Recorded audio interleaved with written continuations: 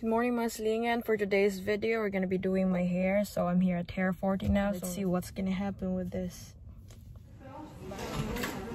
I'm just gonna dub it up.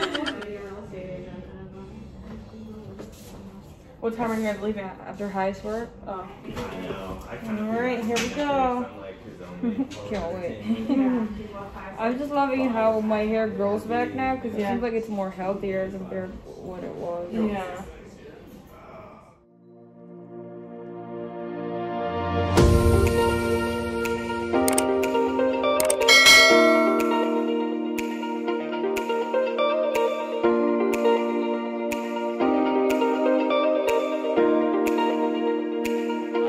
Eternity later. I'm not good at this. It's so light, right?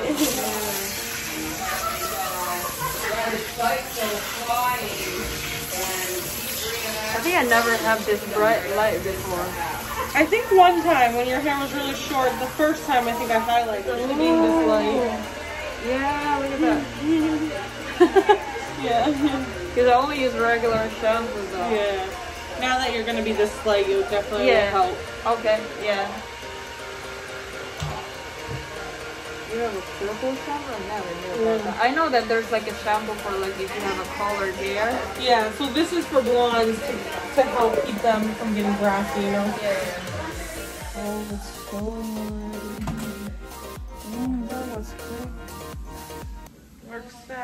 I just want to grow my hair already, so it's like healthy. It's, it's it's healthy now. I think I never have been until gray like this before. No. Not here anyway.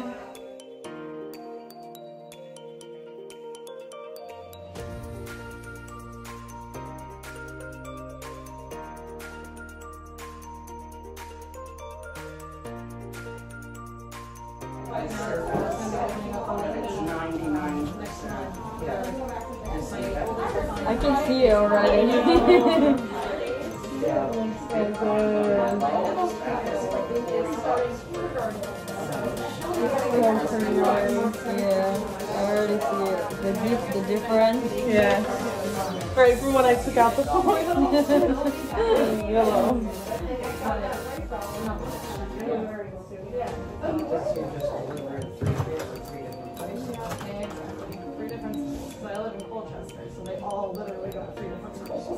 We part on this side, right? Yeah. Not like right. But I did get fortunate enough that my daughter's daycare is right next to her um, older sister's community school.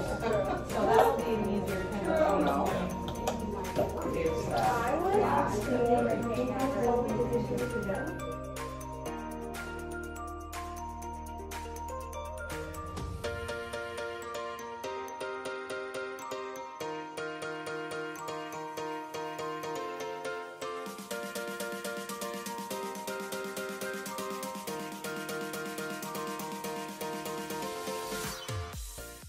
Few moments later. So this is how my hair looks like now, guys. I loved it. I've been wanting to have a grayish hair or ashy hair for a while. Shout out to Brittany. You did a great job, always. So if you're around here in Vermont, around Burlington, you should check out Hair Forte and look for Brittany. And we'll see you in the next vlog. vlog.